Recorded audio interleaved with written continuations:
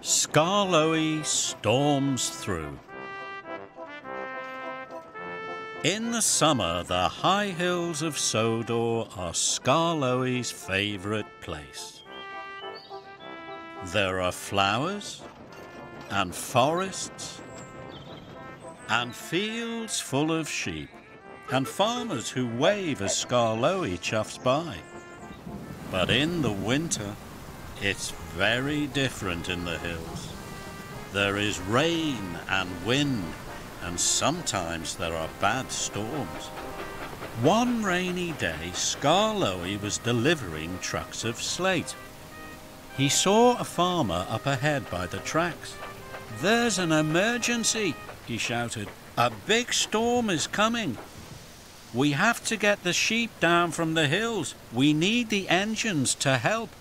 Skarloey wanted to help, so he puffed quickly away to the depot.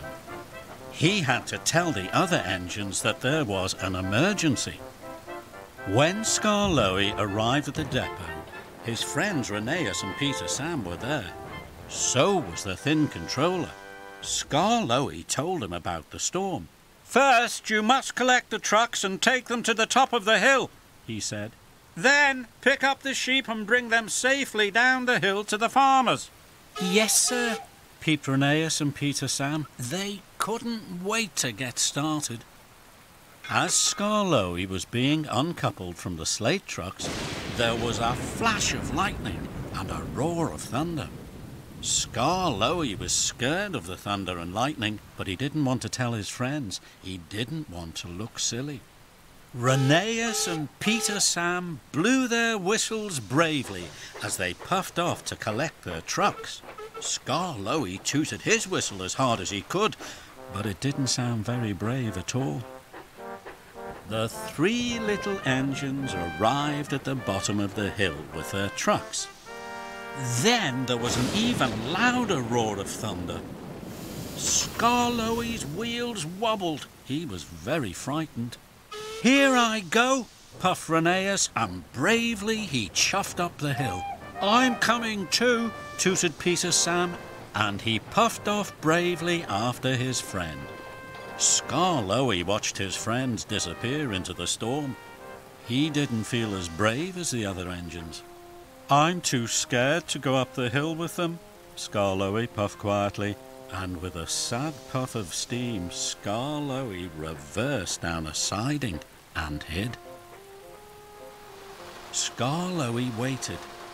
He hoped no one would see he wasn't helping. At last Rheneas and Peter Sam came down the hill.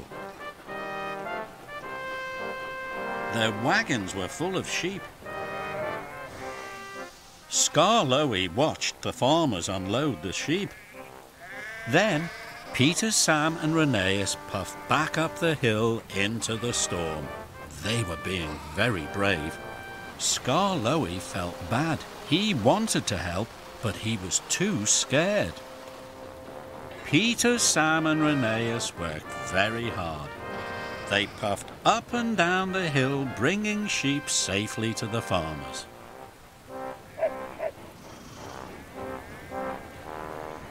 Then there was trouble. Peter Sam, and Rheneas had puffed up and down so many times they both ran out of coal. There are still more sheep on the hill, wheezed Rheneas sadly. What are we going to do? chuffed Peter Sam. Skarloey looked at his two friends. They were very tired and very sad. Then he looked at the farmers. They were worried about the sheep. If a big engine like me is frightened of thunder, the little sheep must be very scared, Skarloey chuffed to himself. I wanted to help the sheep, I wanted to help the farmers, and I wanted to help my friends. But I haven't helped any of them. I've let them all down. He felt terrible. Skarloey puffed slowly out of his hiding place. Rheneas and Peter Sam were pleased to see him. Did you collect lots of sheep? Peter Sam asked. We didn't see you, puffed Rheneas. Skarloey sadly told them what had happened. I was too scared of the thunder and lightning to go up the hill with you, he wished. So I hid and I watched you working.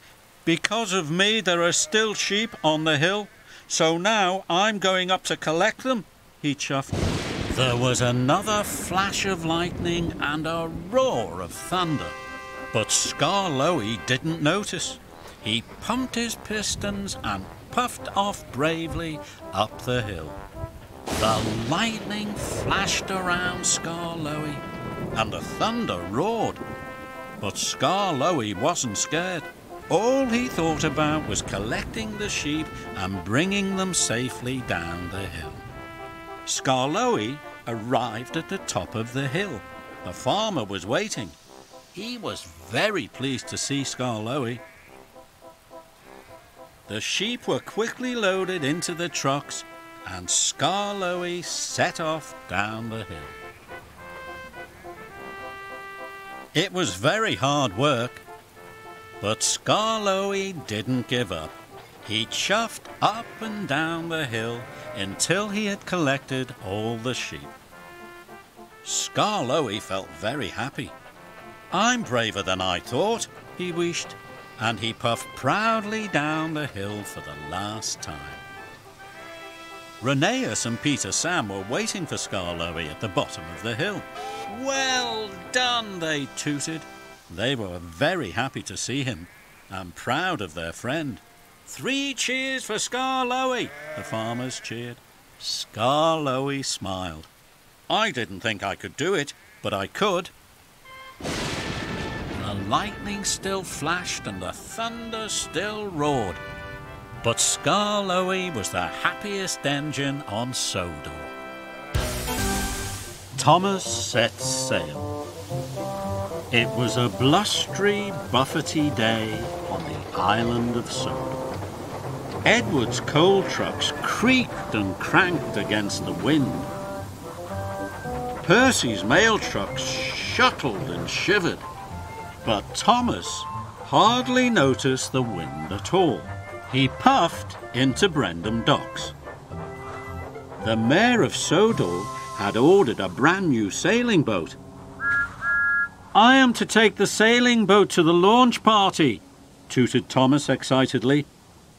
The mayor, the fat controller, and Lady Hatt will all see the boat go into the sea for the very first time. The boat had a tall mast and was painted bright red. It's wonderful, gasped Thomas. It's red. I should be taking it, huffed James. It's heavy. I should be taking it, wheezed Gordon. Cranky lowered the sailing boat onto Thomas's flatbed. It's not too heavy for me, tooted Thomas. You must wait for the engineer to lower the mast, snapped Cranky. The masts will be no trouble for me, Thomas whistled, and he raced away. Thomas puffed proudly along. The wind was strong and the boat was heavy, but not too heavy for Thomas. Thomas came to a steep hill.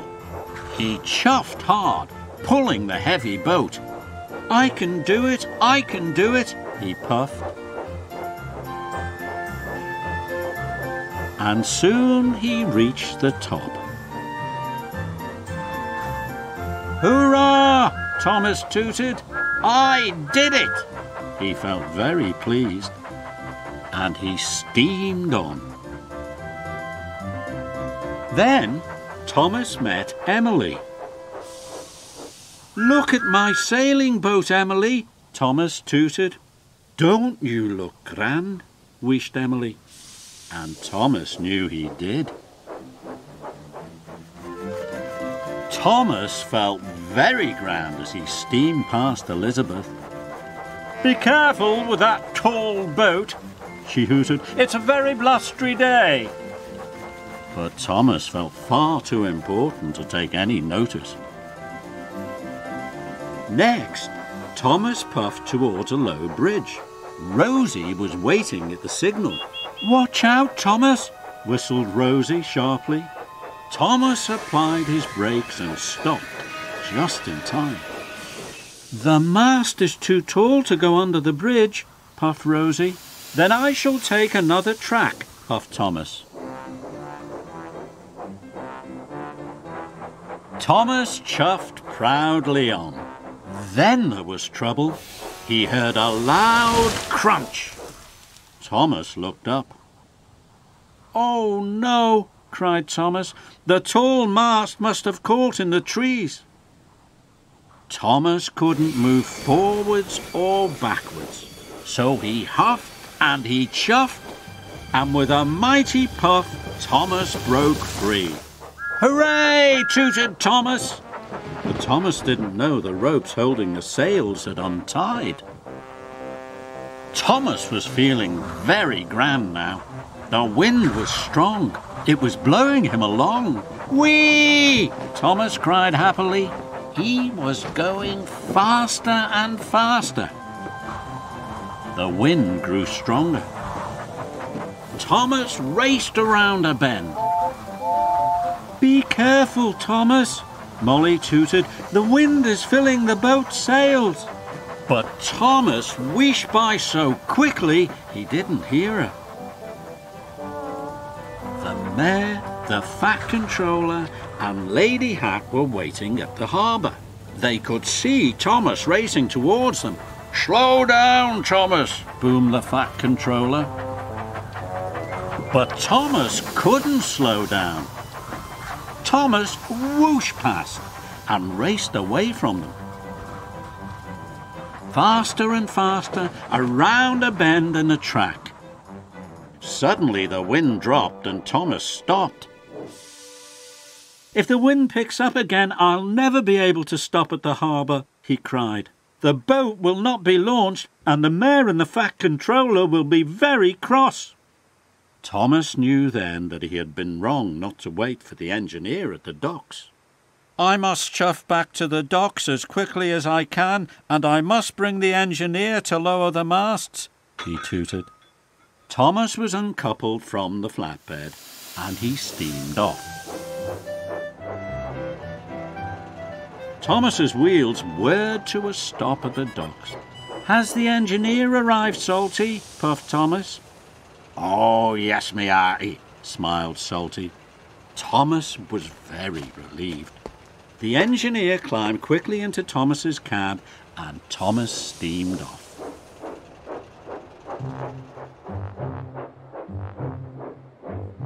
Soon, Thomas arrived at the sailing boat. The engineer rolled the sails and lowered the masts. Slowly, Thomas chuffed back to the harbour.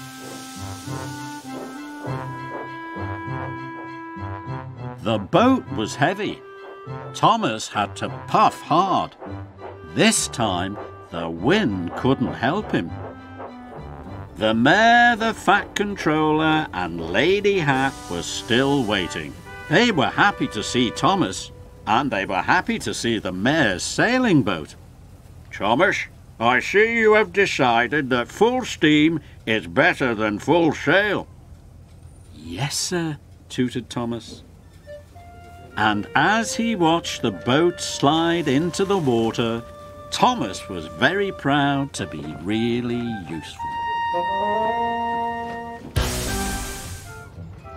Gordon and the Engineer There are railway lines all over the island of Sodor. The railway runs from Brendam Docks right across the countryside. So there are lots of signals.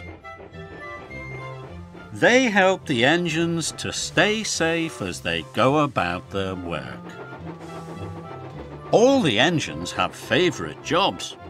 Gordon loves pulling the express. Gordon thinks it's the most important job on the island. And Gordon likes to feel important. One morning, the Fat Controller came to see Gordon. Gordon, the points are broken, said the Fat Controller. An important engineer is coming to fix them. You are to collect him at Maron Station. Then you must take him to the points as quickly as possible. Don't worry, sir, chuffed Gordon. I'll get him to the points for you.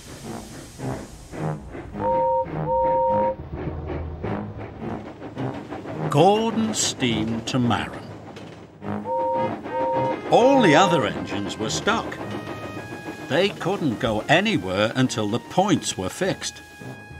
They all had to wait as Gordon puffed grandly along the express line. I'm an important engine collecting an important passenger, he puffed proudly. Gordon felt very grand.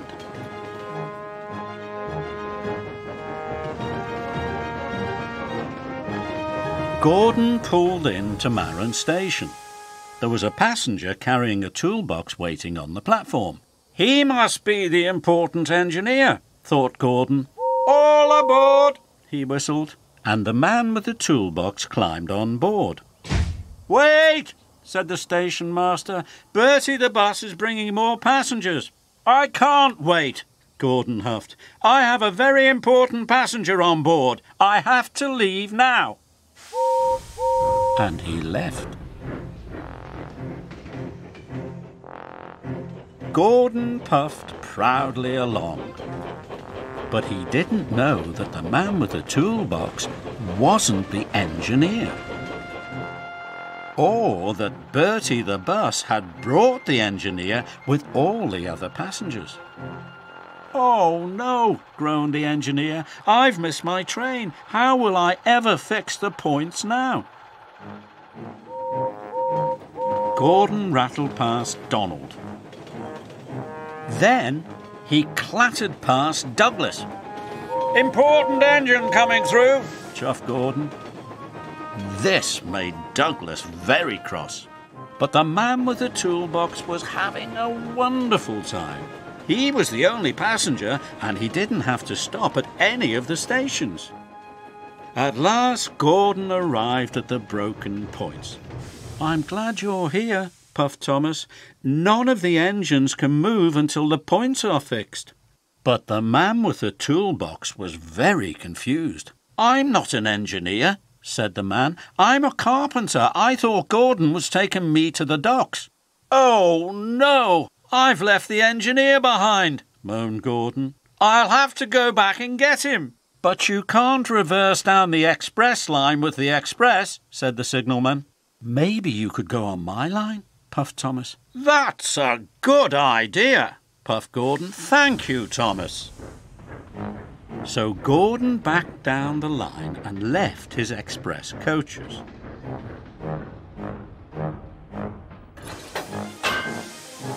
Then he steamed on to Thomas's track.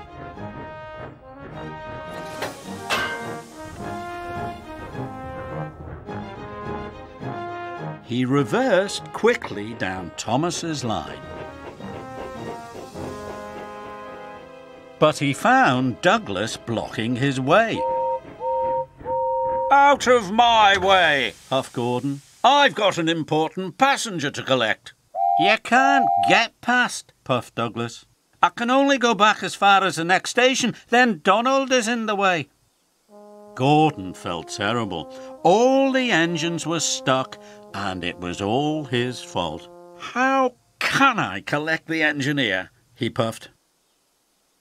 Then Gordon had an idea.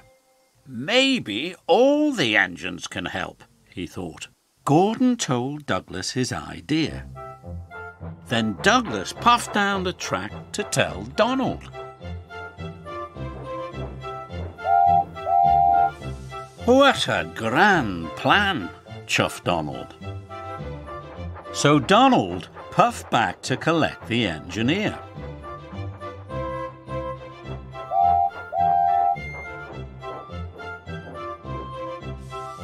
The engineer climbed on board.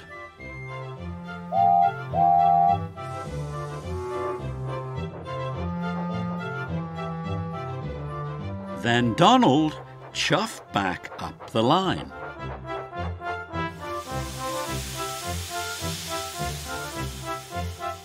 Donald dropped the engineer off at the station. Then Douglas took the engineer to the next stop where Gordon was waiting for him.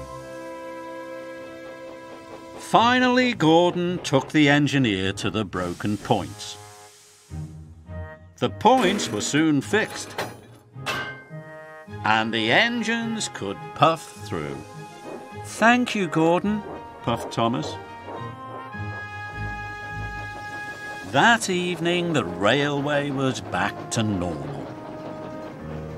Thank you for helping me today, puffed Gordon. Even an important engine like me needs help, sometimes. Hide and peep. Brendam Docks is a busy, bustling place. There are platforms, tracks, and sidings and lots and lots of big warehouses. Everyone enjoys working at Brendam Docks. One day, Thomas, Percy, and Cranky were all waiting for an important cargo ship to arrive. Cranky could see that the ship was far away on the horizon. The ship will be late, he told Thomas and Percy. Thomas had an idea. Let's play a game while we wait, he puffed cheerfully. What shall we play? peeped Percy excitedly. Hide and peep, tooted Thomas. It was his favourite game. You go and hide, Percy, and when I find you, I will peep loudly. You'll never find me, puffed Percy. I'm the best hider ever. Well, I'm the best finder, boasted Thomas. Cranky looked down at the little tank engines can I play? he asked. You're much too tall to hide, Thomas laughed. Cranky felt left out, so Percy puffed away to hide. Soon, Thomas steamed off to find his friend. Thomas puffed past platforms, steamed by sidings, and wheeshed alongside warehouses. But Percy was very good at hiding. Thomas couldn't find him anywhere. Thomas puffed into a large warehouse. He thought Percy might be hiding there. When he got inside, he couldn't see him. Suddenly, an idea flew into Thomas's funnel. He decided he would play a trick. Thomas pretended he knew where Percy was hiding, even though he didn't. Found you! peeped Thomas loudly. Then he looked all around to see where Percy was hiding. Percy puffed out of his hiding place. Percy could see that Thomas hadn't really found him at all. Percy whistled loudly. Thomas was surprised. You tricked me, Percy puffed crossly. You didn't know where I was at all. Thomas felt silly. I'm sorry, he wished. I lied again, huffed Percy, but no more tricks. And he chuffed quickly away. Thomas waited. Then he steamed off to look for Percy again. But Percy was very good at hiding, and Thomas couldn't find him anywhere. Bother, puffed Thomas. Suddenly another idea flew into Thomas's funnel. I'll pretend that the Fat Controller has arrived. Percy, tooted Thomas loudly, the Fat Controller's here. But the Fat Controller wasn't really there at all. Suddenly, there was a loud noise. Percy had been hiding at the top of the coal hopper. Thomas was surprised. Bosh my boiler, puffed Percy. Where is he, Thomas? But Percy couldn't see the Fat Controller anywhere. Found you, peeped Thomas cheekily. Percy saw that Thomas had tricked him again. That's not fair, he wished. I'm sorry, Thomas chuffed. Hide again. This time I won't trick you. So Percy puffed away to hide again. Thomas waited. Then he started to look for his friend. Thomas still couldn't find him, but he did find the dock manager. The dock manager was also looking for Percy and for Thomas. The ship is docked and Cranky is unloading the cargo. You must come and collect your deliveries, he told Thomas. Thomas peeped loudly for Percy. Percy, the ship has docked, he tooted. Percy heard Thomas, but he thought it was another trick, so Percy decided to stay hidden. Cinders and ashes, cried Thomas. Percy thinks I'm playing another trick. Percy would be in trouble if he didn't collect his cargo trucks. If only I hadn't tricked Percy before, tooted Thomas. He raced over to Cranky. Where's Percy? cranked Cranky crankily. Percy is still hiding. I'm not a very good finder after all, Thomas wheezed sadly. And I'm too tall to be a good hider, creaked Cranky. Thomas remembered that Cranky was so tall he had seen the cargo ship far out at sea. But you'd be a very good finder, tooted Thomas. Thomas asked Cranky to see if he could find where Percy was hiding. Or Percy will get into trouble, puffed Thomas. Cranky didn't want the little engines to get into trouble. Cranky looked easily over warehouses, across platforms, and down onto sidings. And there he saw Percy. I found him, cranked Cranky proudly. Thomas raced over to Rocky. Found you, Percy, he peeped loudly. Rattle my rods, puffed Percy. He was very surprised. You were the best finder after all. No, I'm not, Thomas puffed sadly. I had to ask Cranky to find you. He's so tall he could see where you were hiding. You tricked me again, huffed Percy. Before Percy could get cross, Thomas told him about the waiting cargo trucks. It's time for our deliveries, Thomas whistled. We must hurry. Together, Percy and Thomas steamed back to their cargo trucks. Percy was happy his friend had found him. Soon they were ready to leave. Thank you, Cranky, Thomas chuffed loudly. You are the best finder. Cranky was very pleased. And Percy, Thomas puffed to his friend, you are the best hider ever. And the two friends steamed happily away.